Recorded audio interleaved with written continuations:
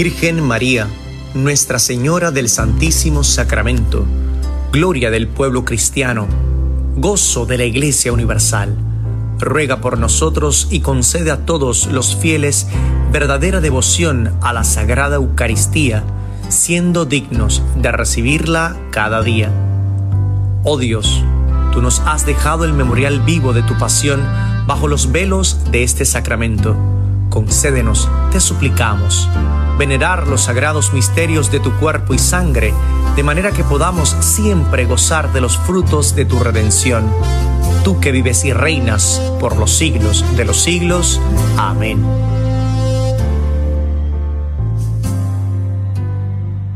El Señor esté con ustedes. Lectura del Santo Evangelio según San Juan. Cuando se acercaba la Pascua de los judíos, Jesús llegó a Jerusalén y encontró en el templo a los vendedores de bueyes, ovejas y palomas, y a los cambistas con sus mesas. Entonces hizo un látigo de cordeles y los echó del templo, con todo y sus ovejas y bueyes. A los cambistas les volcó las mesas y les tiró al suelo las monedas. Y a los que vendían palomas les dijo, quiten todo de aquí, no conviertan en un mercado la casa de mi padre. En ese momento, sus discípulos se acordaron de lo que estaba escrito. El celo de tu casa me devora. Después intervinieron los judíos para preguntarle, ¿qué señal nos das de que tienes autoridad para actuar así? Jesús les respondió, destruyan este templo y en tres días lo reconstruiré.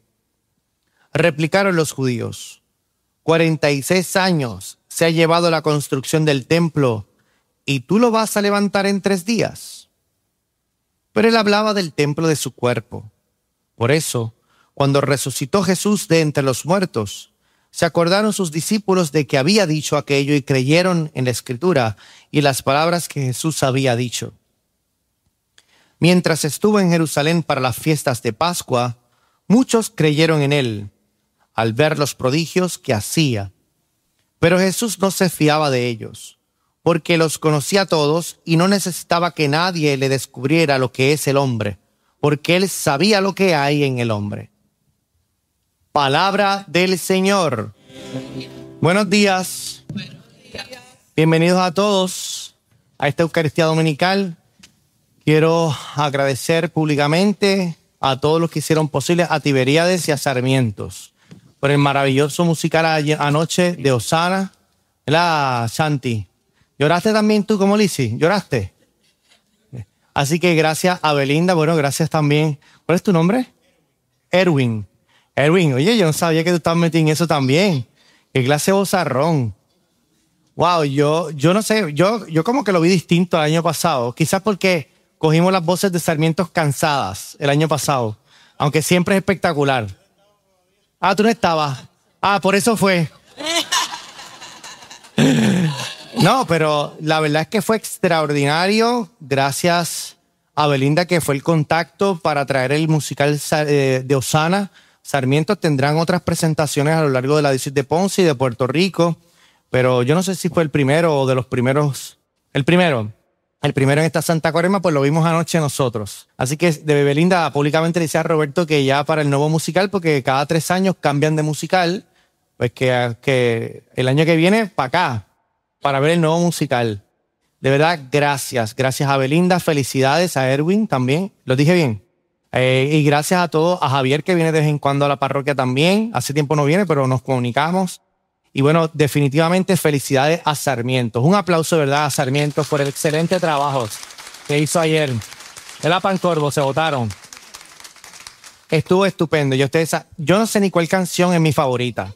Pero bueno, me gusta mucho el canon, el canon, pues de Pedro, porque al no tener instrumentos, pues tiene una complejidad vocal mayor y Dios mío, espectacular, definitivamente espectacular. Muy bien.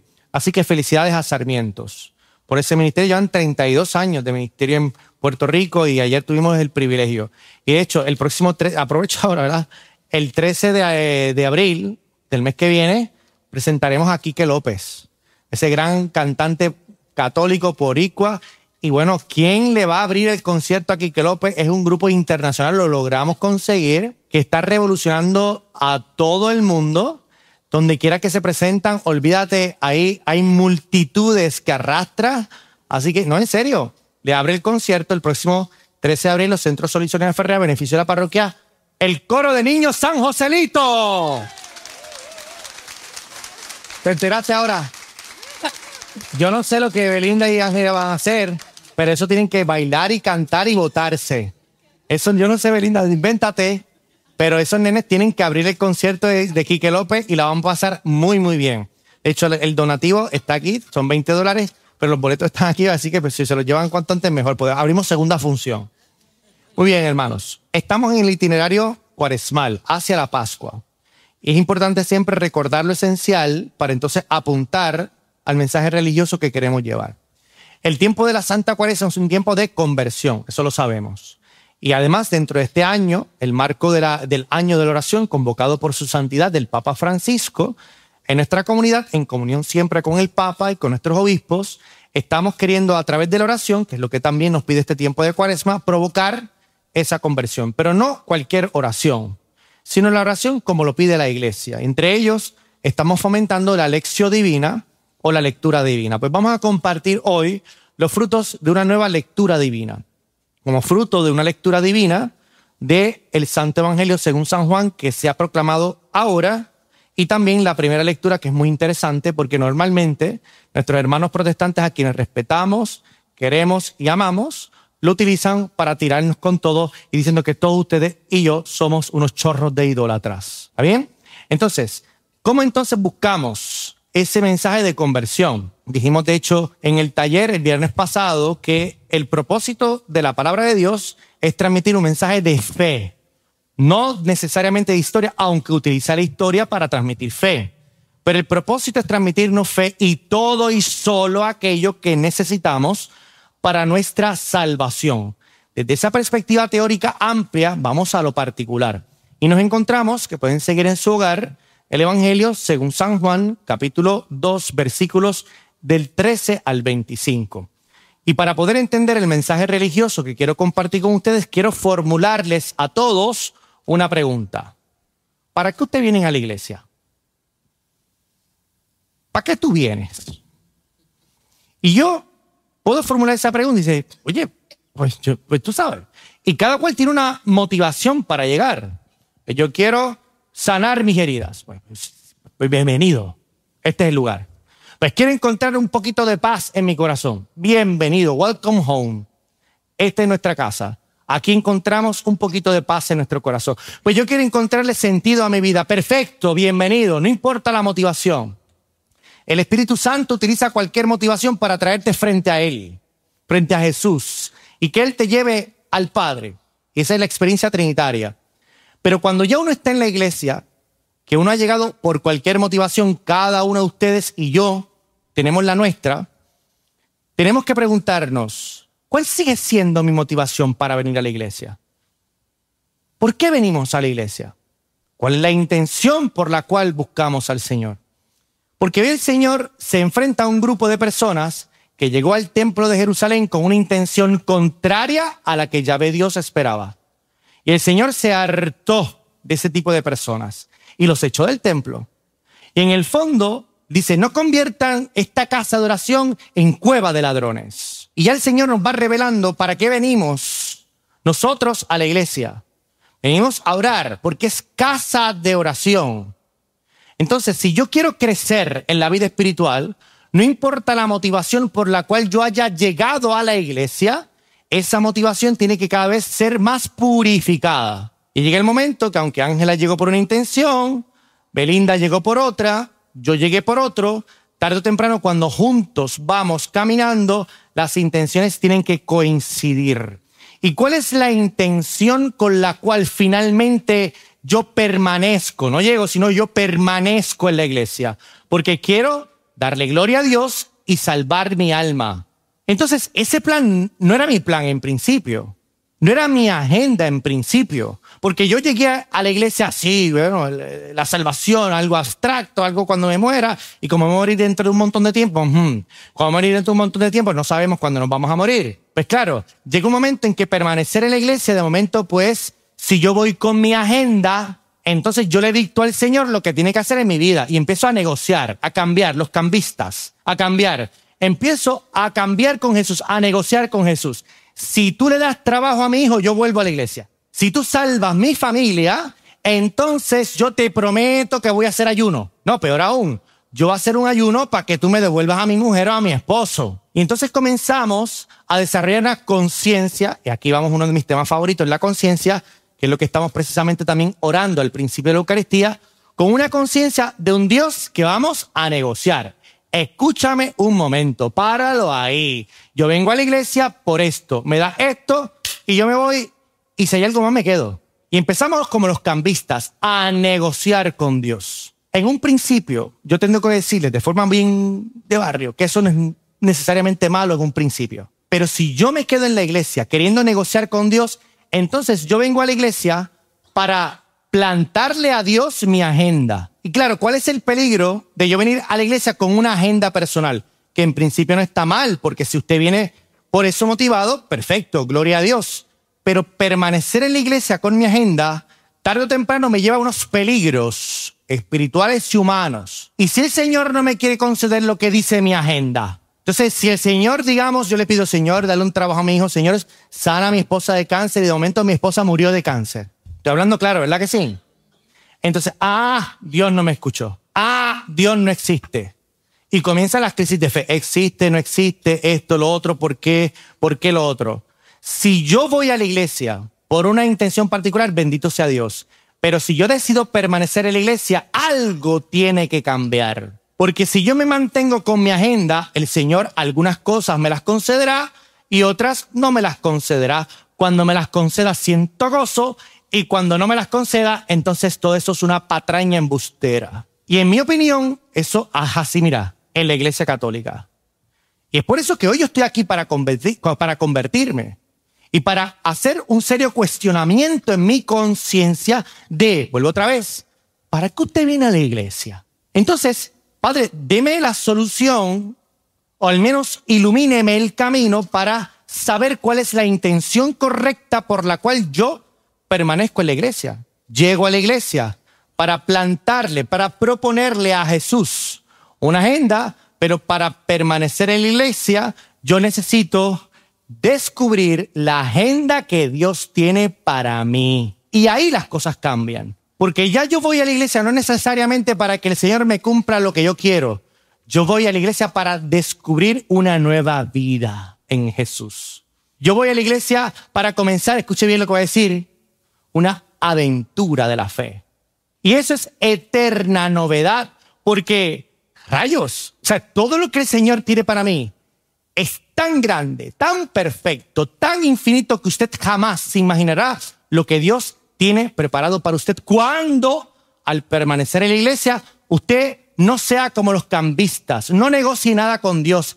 Ya el Señor negoció todo, ya Él derramó su sangre por ti y por mí. Ahora no venimos a plantarle mi agenda a Jesús, ahora venimos a descubrir la agenda que Dios tiene para mí. Y eso cambia la vida. Eso cambia la perspectiva interior. Y ahí yo no vengo, Señor, sáname por esta herida del dolor, de la muerte de mi mamá, de mi hermano, de mi hermana, de mi cuñada, etc. Yo vengo, Señor, a que tú hagas algo nuevo en mí. ¿Qué? Vamos a descubrirlo, que comience la aventura de la fe. Y cuando nosotros comenzamos una aventura, el estado de ánimo del corazón cambia. ¿Cómo es cuando nosotros nos vamos, por ejemplo, a Costa Rica? A los que hemos ido a Costa Rica alguna vez. O, por ejemplo, ahora que, que él estuvo tan aburrido en Cancún. Él estuvo tan aburrido. Y así, pues, estuvimos orando por él, porque constantemente yo aquí aburrido en Cancún, aburrido en Cancún, aburrido en Cancún. Yo, pues, vente para Puerto Rico, ¿qué haces en Cancún? Cuando uno está en una aventura, ¿cuáles son los sentimientos que brotan del alma? Alegría, es algo como que, wow, vamos para allá, ¿qué va a pasar? Algo nuevo, una novedad. Esa es la aventura de la fe.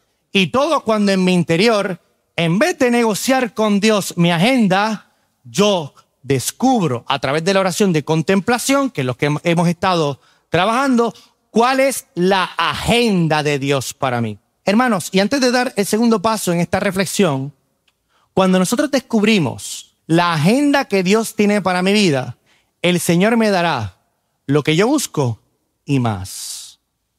Y más, porque el Señor no se deja ganar en generosidad. Entonces, Padre, ¿cómo voy cultivando, cómo voy convirtiendo mi corazón para que cuando yo vaya a la iglesia pueda permanecer? Y en ese permanecer, en vez de estar negociando con Dios, yo deje que Dios haga, cumpla su agenda en mí. Pues para eso tenemos que dejarnos educar por la palabra de Dios. Y en mi opinión, el Éxodo 20, que es la primera lectura de hoy, nos educa profundamente el corazón o comienza ese proceso.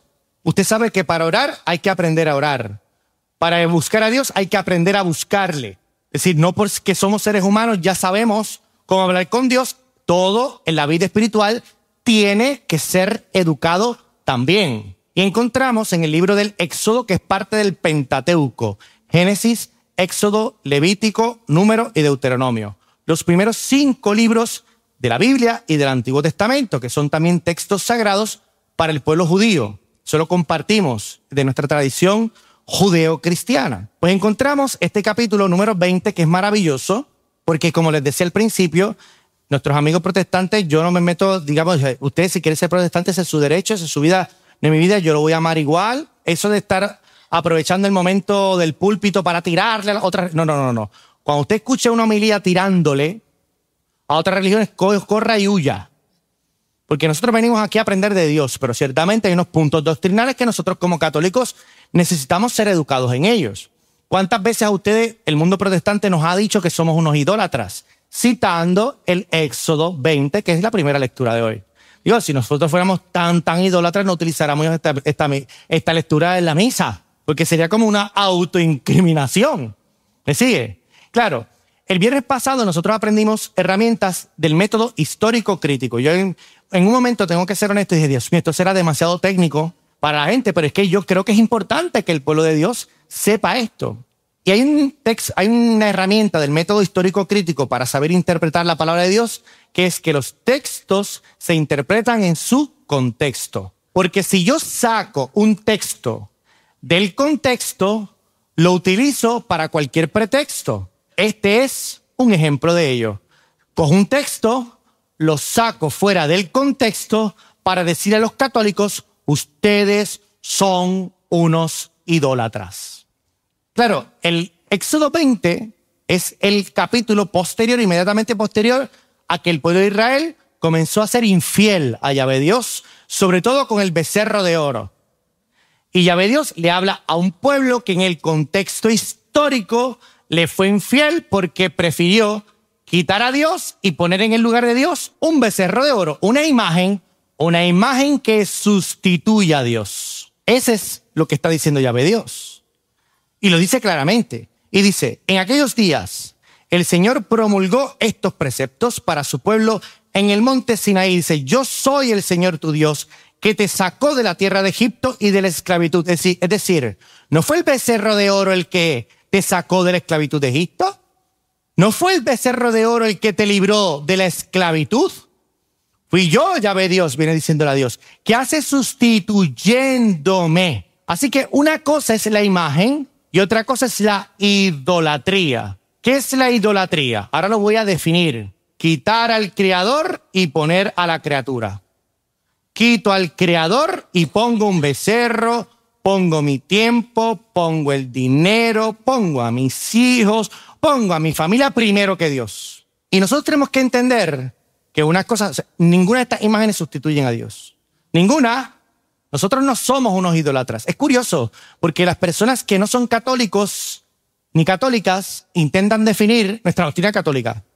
Y nosotros los católicos que les explicamos lo que realmente creemos, vivimos y celebramos, no nos creen. Pero si somos nosotros los que sabemos interpretar lo nuestro, ¿cómo le vamos a permitir que otro mande en mi casa? Por poner una cosa. Ah, no, lo que voy a decir es un embuste. O sea, que quede claro. Mundo de redes sociales, lo que voy a decir es un embuste. A ser a Jennifer. Ah, no, claro. Tú ves a Alexander, saliente está ahí, que es el marido. Es, dice, ese es un hombre sometido, porque ah, a leguas se nota que ella es la que manda en la casa. Bueno, aunque eso sea cierto, no sabemos. Embuste del diablo. ¿Ves? Yo estoy juzgando de lejos un hogar bajo los criterios prejuiciosos, los que sea. Pero ¿quién sabe realmente cómo ellos conviven en el hogar? ¿Quiénes? Ellos. Por lo tanto, ¿quién es mejor que ellos para definir cómo viven su matrimonio en su casa? Nosotros como católicos le decimos al mundo cómo vivimos verdaderamente la doctrina. La idolatría es mucho más que el tema de las imágenes. La imagen es como, por ejemplo, con todo el respeto que todos nos merecemos, cuando una madre, un padre, un hermano, un amigo muere. Y de momento tenemos su foto en nuestra casa. La foto es nuestro familiar difunto, ¿sí o no? La foto nos recuerda a nuestro familiar difunto, pero ¿es nuestro familiar difunto? ¿Lo sustituye? No. Pero de momento yo cojo la foto de mi hermano, de mi hermana, de mi mamá, de mi y le doy besitos. Eso es, eso es legítimo. Estoy mostrando un amor a un papel. ¿A qué?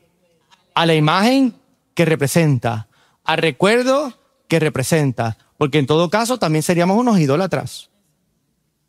Seríamos unos idólatras. Tenemos que sacar ya la peleita. La peleita entre cristianos que no nos lleva a ningún sitio. La peleita que en nada provoca santidad. La peleita que en nada provoca comunión la peleita que nada nos lleva a la salvación. Sacando eso aparte, el texto del Éxodo 20 nos enseña a nosotros a cómo no canjear con Jesús. A cómo entonces pasar de mis agendas a la agenda. A permitir que la agenda de Dios sea la que provoque en mí la aventura de la fe. Y hay tres claves importantes, en mi opinión, en esa lectura orante que hice de la primera lectura que quiero compartirlas con ustedes para que en este proceso de cuaresma de conversión usted llegue a la iglesia, no importa su intención, pero que poco a poco vaya madurando su intención, permanezca en la iglesia, pero no tanto negociando con Dios, dame esto, yo te doy esto. No, Señor, haz de mí lo que tú quieras. Ese es bello, pero nos pone a temblar las piernas. La primera, dice el libro, el Génesis, el libro del Éxodo, perdón, el libro del Éxodo. Dice, yo soy el Señor tu Dios que te sacó de la tierra de Egipto y de toda esclavitud. Claro, si yo quiero comenzar a experimentar la agenda de Dios en mi vida, yo tengo que dar un paso serio de conciencia, que es el tema que estamos trabajando, de identificar todas las esclavitudes que tenemos en nuestra alma. ¿Y cómo sabemos que tenemos esclavitudes? Bueno, todos o todas esas realidades que sustituyen a Dios en mí. Por ejemplo, Padre, yo no voy a la iglesia pues porque yo tengo solamente el domingo, es mi día de descanso. Y Dios sabe, Dios lo sabe que yo lo quiero. Yo lo amo, yo amo chuito. ¿Para cómo le llaman chuito? Yo, mira, yo me quedo, algunas veces me quedo patidifuso con chuito. es que la primera vez que escucho eso, chuito, ¿quién es chuito? Digo, por más cariño que lo tenga Jesús, decirle chuito como que a mí no me da como mucha devoción. Mejor le digo mi maestro, mi amor, Jesús de Nazaret, Jesucristo, el Señor, Adonai. Yo le digo, pero chuito. En fin, nada. Yo, yo me pongo así. Yo algunas veces, yo algunas cosas no las entiendo, pero yo no juzgo. Si usted quiere llamarle chuito, allá usted con su conciencia. Bien, de momento dice, Dios sabe que yo le quiero mucho, pero la verdad, es que Dios también quiere que yo empezamos a justificar. Empezamos a justificar. Mire, yo sé que tengo que visitar a mis padres que hace tiempo ni siquiera les llamo, pero ellos saben que yo los amo. Bueno, yo sé que yo tengo que ser un hombre detallista con mi esposa, pero ella sabe que yo le amo. Y la esposa dice, mire chico, pero ¿por qué tú no me dices de vez en cuando que te amo? Ay, por favor, tú lo sabes. Y empezamos a sustituir lo esencial por lo accidental. Empezamos a sustituir la criatura por el creador. Y yo le hago una pregunta a su conciencia, porque aquí venimos a educar nuestra conciencia. ¿Qué realidades en su vida usted ha sustituido por la criatura y ha quitado al creador? Esos son esclavitudes. Cada cual tiene las suyas. Yo tengo las mías, me imagino que Carmen tiene las suyas, Marisol tiene las suyas, Mario tiene los suyos, todos tenemos las nuestras. Cuando yo sustituyo al creador por la criatura, eso me esclaviza porque no me da libertad. Porque no me da la oportunidad de vivir, escuche bien, la aventura de la fe. Y no le permito a Dios a cumplir su agenda en mí. Me quedo con mi agenda, con mi tiempo, lo que yo tengo que hacer con mi tiempo, con mi dinero, con mis cosas. Y la mano de Dios en mi vida no está. ¿En qué realidad en su vida usted ha sustituido incluso de forma inconsciente? No todos, no todos los pecados somos porque somos malos. Normalmente los pecados en un nivel es o son porque somos débiles, no porque somos malos. No es lo mismo pecar por maldad que debilidad, pero no obstante, ambas realidades hay que trabajarlas en nuestra vida para alcanzar lo que dice sobre todo San Pablo, la libertad gloriosa de los hijos de Dios. Permitir que el Señor haga lo que le dé la gana, como le dé la gana y cuando le dé la gana. Eso es maravilloso. ¿En qué dimensión de su alma, de su vida y de su existencia Dios tiene que tener más prioridad o prioridad? Número dos, nos lo dice también el libro del Éxodo. Dice, acuérdate de santificar el sábado. Entendemos que este libro es del Antiguo Testamento. Todavía más o menos 1800 años antes del nacimiento de Cristo, más o menos. Entonces ya habla estrictamente del pueblo judío. Y sabemos que en el principio el sábado, el Shabbat, era el día sagrado. ¿Por qué lo explica el texto? Yo no voy a ir a lo que explica el texto, pero ciertamente nos vamos al relato de la creación. Y el sábado es el séptimo día donde Dios, después de crear, ¿qué hizo? Descansó y a imagen de llave Dios, el pueblo de llave Dios descansa y santifica el sábado. Pero nosotros no somos judíos, somos cristianos. Y los cristianos ya en el Nuevo Testamento, el Señor precisamente en la última cena transformó el Shabbat, transformó el sábado, porque entonces vino el octavo día que llamamos, el día que no existía y existió. El día en que Jesús venció la muerte y el pecado. El día de la resurrección.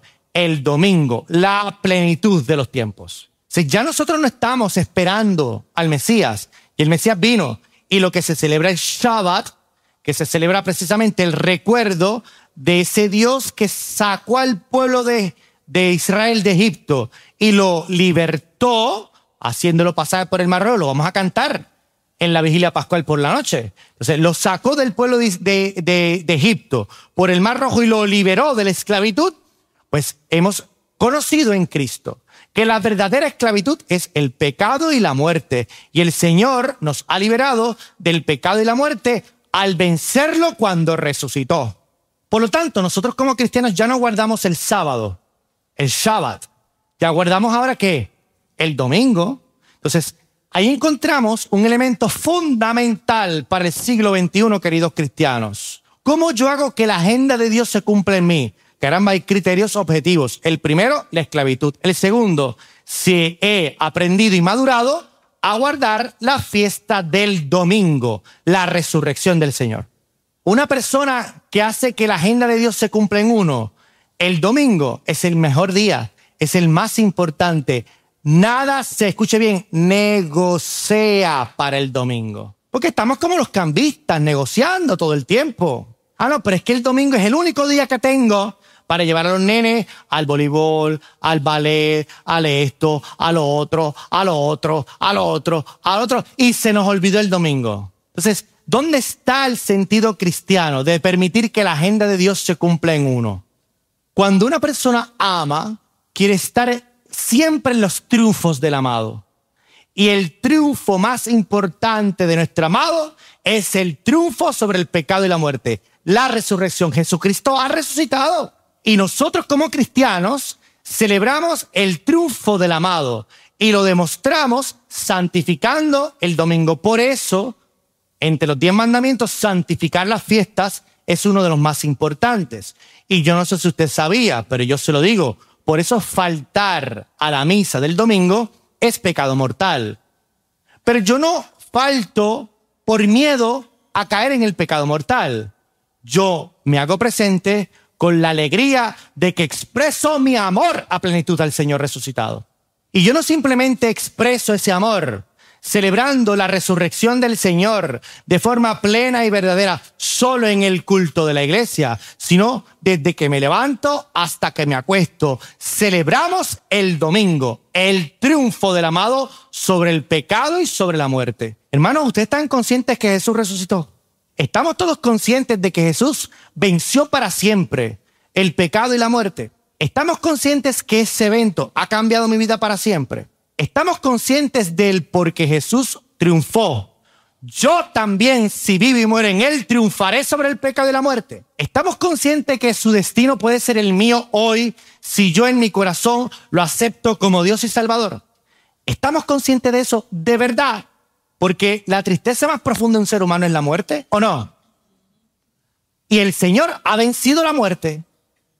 No debe haber una noticia, una buena noticia. De hecho, en griego, buena noticia, escuche cómo se escucha. Evangelium. Evangelio.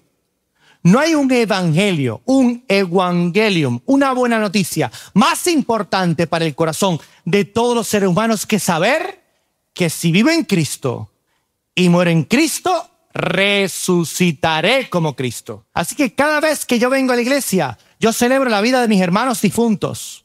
Cada vez que yo vengo a la iglesia, yo celebro también mi propia vida y mi propia vida eterna. Y cada vez que vengo a la iglesia, yo celebro el triunfo del amado, que es el mismo mío cuando yo en vida lo sigo, no por miedo a la condenación, sino por amor absoluto apasionado. Si yo cumplo eso en mi vida, estoy haciendo que la agenda de Dios sea mi agenda y no permanecer en una relación entre cambistas. Te doy para que tú me des. Y por último, hermanos, haciendo una reflexión sencilla pero profunda sobre el libro del Éxodo capítulo 20, encontramos un mandamiento también. Es honra a tu padre y a tu madre. Mauro, por favor, acompáñame. Porque cuando tú estás, la gente me hace caso. Dice, el libro del Éxodo dice lo siguiente, honra a tu padre y a tu madre. Y ya sabemos que es parte de un mandamiento de nosotros los cristianos.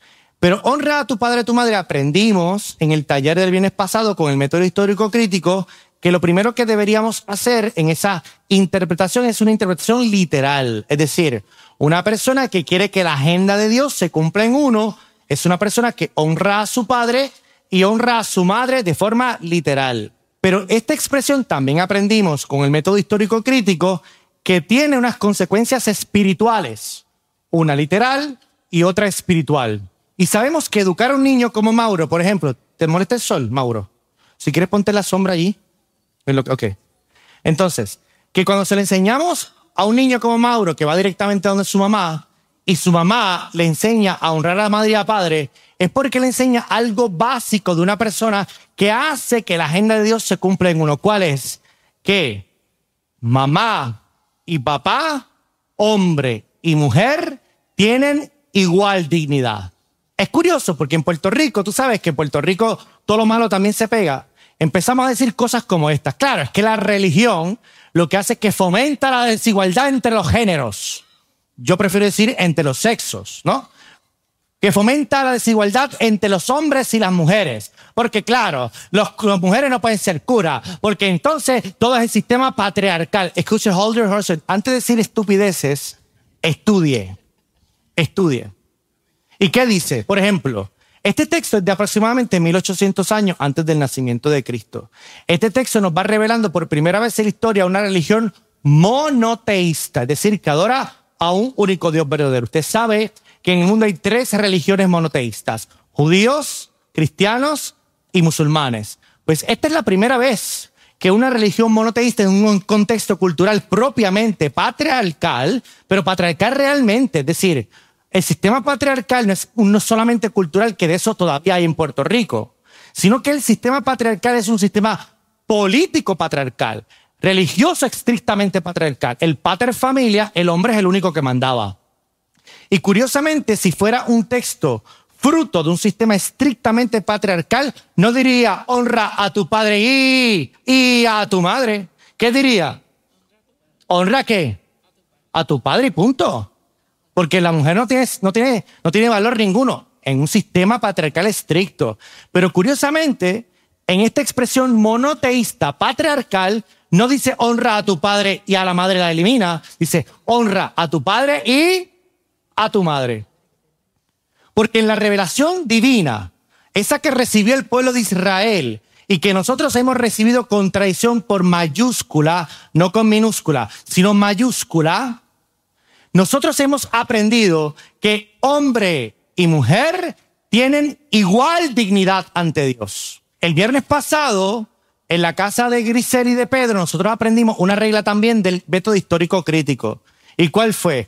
Buscar primero el género literario del libro antes de interpretarlo. Y uno de los ejemplos que yo di fue, por ejemplo, en el poema del Génesis, el tema de la costilla. En el contexto poético y cultural de aquel momento, la costilla es símbolo de igualdad, de igual a igual.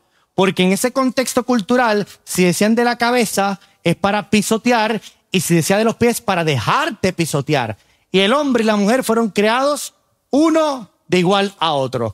Porque precisamente ahí radica nuestra dignidad. Y Dios creó al hombre y a la mujer a su imagen y semejanza, es decir, de igual dignidad. Por lo tanto, sería incoherente, vamos a ver el siglo XXI, sería incoherente decir, no, yo soy un mega cristiano, pero soy un hombre que le, que le pego a la esposa, cuando no hace lo que tiene que decir. Pero digamos, no seamos tan violentos, que existe y hay que condenarlo. Pero que sea un hombre violento verbalmente con mi esposa. Miren, en matrimonios no se hablen malo entre ustedes. No se hablen malo. No se hablen malo entre nosotros aquí. No nos hablemos malo respetémonos unos a otros. Una persona que cumple la agenda de Dios en su vida trata a la mujer con el mismo respeto que se trata al hombre. Y eso se enseña desde pequeño. Respeta a tu madre como respeta a tu padre. Porque tanto hombre como mujer tienen igual dignidad y respeto ante Dios. Y en nuestro sistema cultural latinoamericano tenemos que aprender a dar testimonio que se respeta a la mujer como mi propio cuerpo, dice San Pablo. Como el cuerpo de Cristo. Por lo tanto, sería incoherente que nosotros fuéramos una iglesia que estuviésemos predicando la justicia, la paz y la verdad, pero ante la violencia, por ejemplo, en contra de la mujer, nos quedemos callados. O la violencia también en contra de los hombres, o la violencia en contra de los niños, o la violencia en contra de nuestros viejitos. La violencia no comulga con la fe cristiana, ninguna, ninguna. Por lo tanto, queridos hermanos, si yo aprendo esto desde pequeño, a honrar a papá y a mamá, estoy honrando la sacralidad que tiene todo ser humano. Por lo tanto, desde esa perspectiva, mi vida cambia, porque yo no puedo tratar a las personas a pata limpia, por más mal que me caigan. Yo no puedo tratar a las personas con prejuicios todo el tiempo. Yo tengo que tratar a las personas con paciencia, con amor, aunque muchas veces cometan errores, porque errores todos hemos cometido. Así que mis queridos hermanos, el llamado a la conversión es profundo. El llamado a la conversión es real.